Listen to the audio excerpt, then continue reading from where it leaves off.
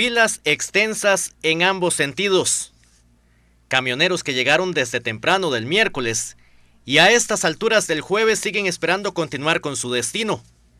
Es la realidad que se vive en Pérez Celedón debido al bloqueo en el puente sobre el río Gilguero en San Isidro del General. Uno de esos casos es el de este transportista.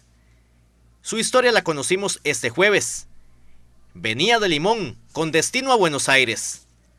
Pasó la noche acá. Desde ayer a las 2 de la tarde. Usted como conductor que está realizando su trabajo, ¿qué, qué opinión le merece esta, esta situación que está viviendo el país?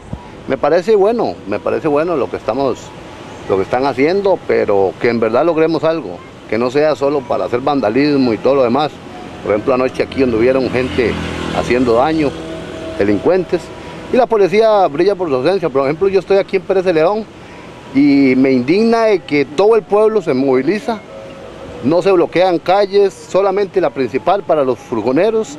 El pueblo sigue igual, taxistas, buses, la gente. Se debería cerrar los accesos a los pueblos para que se paralice el pueblo, no, no solo los trabajadores de, rutas nacionales.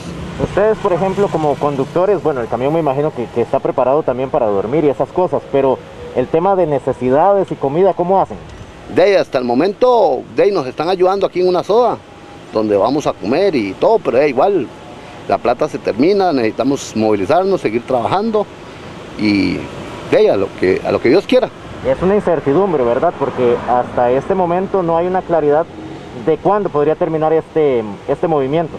De ahí, en realidad no, ayer nos estuvieron diciendo que la gente está organizada y están preparados hasta para una semana, que están con alimentos, con toldos, con tiendas de campaña y todo, y, a, la intemperie. Con el paso de las horas, se espera que las filas se hagan más extensas en el Valle del General.